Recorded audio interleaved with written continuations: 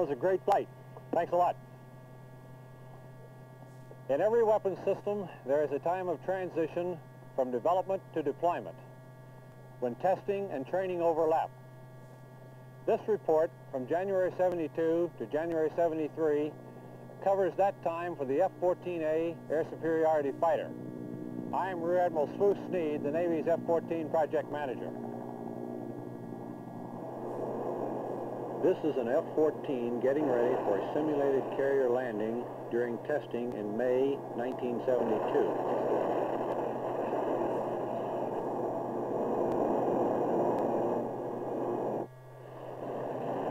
And so is this. During June, at Naval Air Test Center, Patuxent River, Maryland, F-14 number 10, later replaced by number 17, gets ready to try its sea legs. And in the same month, a full year ahead of previous fighter developments, Lieutenant Commander Brown brought the Tomcat aboard the USS Forrestal. Two catapults, two arrestments, and 13 touch-and-goes were performed in a one-day operation. At fighter design takeoff gross weights, or with a load of Phoenix missiles for combat air patrol missions, the F-14 can be launched at military power. No afterburner is needed. The AWG-9 radar, in combination with Phoenix missiles, reached several milestones at Point Mugu, California. In August, two Phoenix missiles were fired at long-range targets, one shown here in slow motion and one in real time. In December, the AWG-9 weapon system, tracking widely separated airborne targets, launched four Phoenix and guided them simultaneously to hits. Sparrow missile firing demonstrated airframe compatibility with another fleet weapon. The close-in air combat sidewinder was also successfully demonstrated. Another impressive dogfighting weapon, the M61 Gatling gun, filmed here at 10 times normal speed, demonstrated its 6,000 round per minute capability throughout the entire F-14 flight envelope. During firing, gun gases are deflected away from the engine air inlet. In August, Navy Preliminary Evaluation 2, a major milestone, took place on the east and west coasts simultaneously. On the west coast, the AWG-9 radar attained repeated lock-ons in both long-range and dogfight modes in a dynamic environment.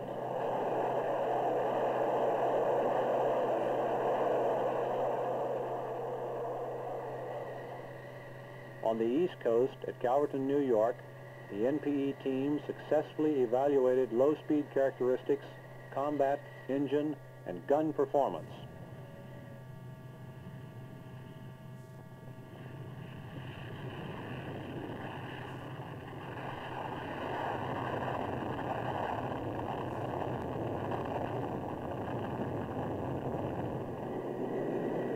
Aircraft number two is well into high angle of attack investigations. To date, it has been determined that the F-14 will not stall. Angles of attack as high as 77 degrees were attained. Indicated airspeeds ranged from 0 to 35 knots. The airplane was completely maneuverable. Recovery was instantaneous.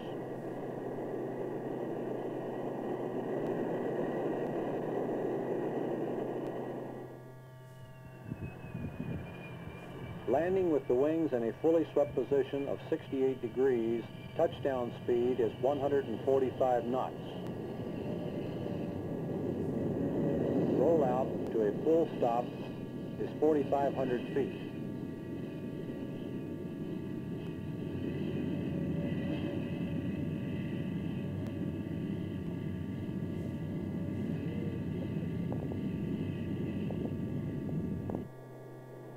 The same landing from a ground level camera.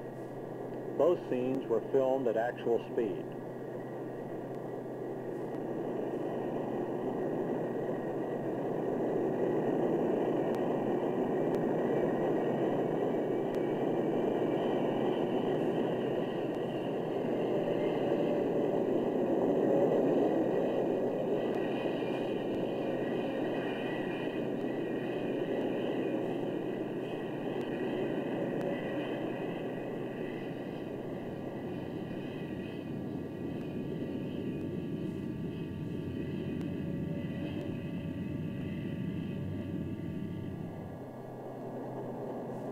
With high altitude performance and combat ceiling parameters as their main goal, a Grumman test crew started the program in aircraft number 8 by checking aircraft control and pressure suit compatibility.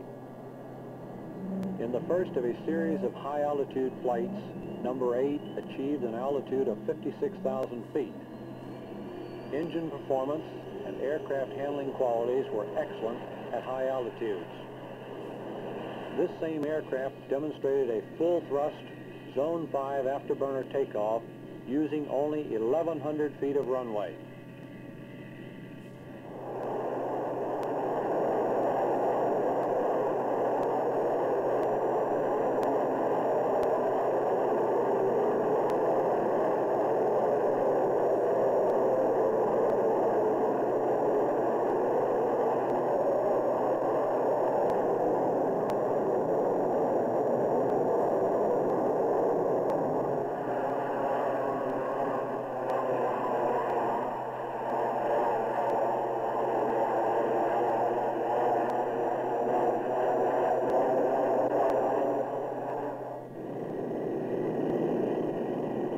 Another crew demonstrated short field landing and takeoff. Landing and rollout took 2,100 feet. From full stop to liftoff, 700 feet. Landing, rollout, and liftoff, 2,800 feet.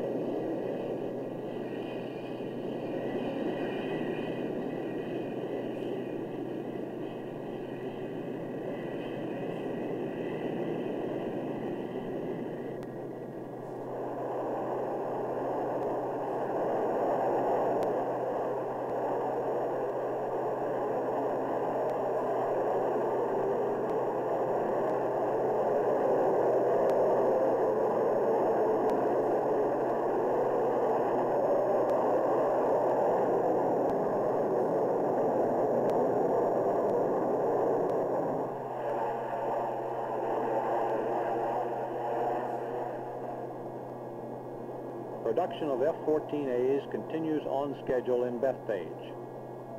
The forward module of number 46 has been assembled and aircraft number 48 is in sub-assembly. Forward modules of the F-14A are now being produced at the rate of three per month. At Calverton, aircraft numbers 25 through 36 are in final assembly. Aircraft number 36 marks the transition of full final assembly operations from Bethpage to Calverton to allow higher production rates.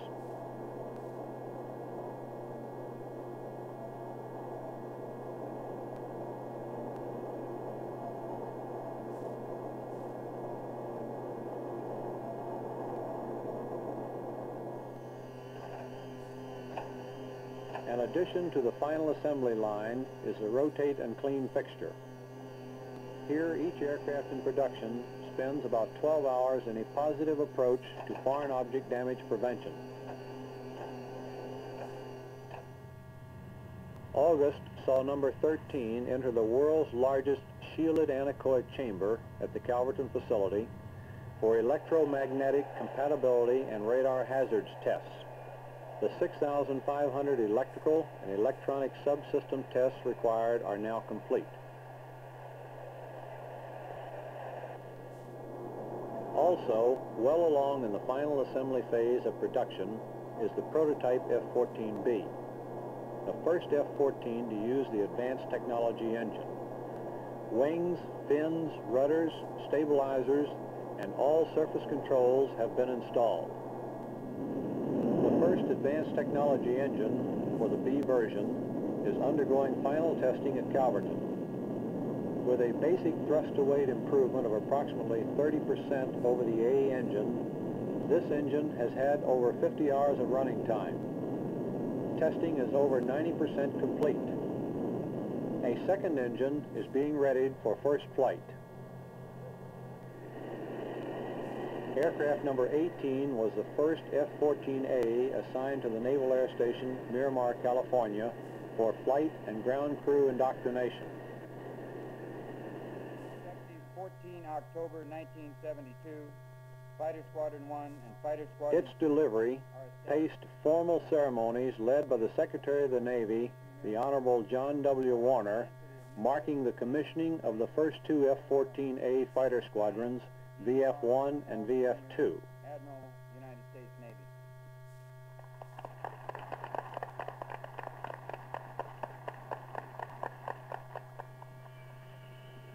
Subsequent deliveries of Tomcats 19 through 22 between October 1972 and January 1973 have further accelerated the Navy's evaluation program. Over half of the 2,200 total flight hours have been devoted to weapons system test. The next major tests are the Board of Inspection and Survey trials in February 1973.